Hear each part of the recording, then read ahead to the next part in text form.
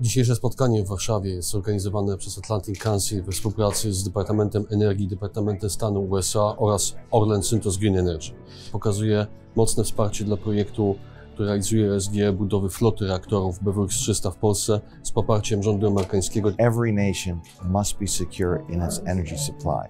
As Ambassador Brzezinski said this morning, energy security is national security. There's no other energy form other than nuclear in which you have that kind of opportunity. Every other energy form or form relies on some form of natural resource.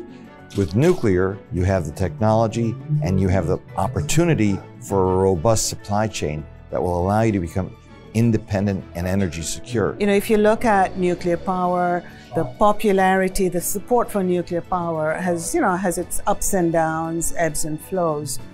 The support has never been higher than it is today because it's recognized that not only is it safe and good for the environment, but it results in great jobs and the best jobs, the highly skilled jobs that this sector provides.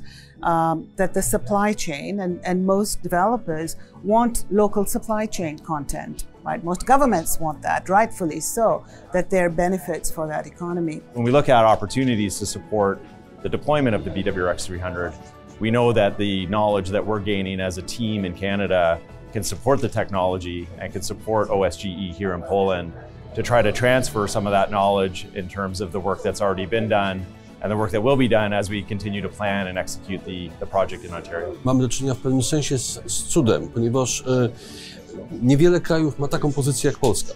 Polska posiada rozwinięty supply chain. Ten supply chain istnieje w Europie dla BWX 300. Paliwo produkowane jest e, w Hiszpanii seryjnie. E, Wzbogacanie paliwa odbywa się we Francji, natomiast Polska posiada potencjał do tego, żeby realizować szereg elementów wyspy e, turbinowej, zarówno generator, jak i turbinę, jak i cały taki tak zwany balance of plant może być realizowany w oparciu o, o tak zwany polski łańcuch dostaw.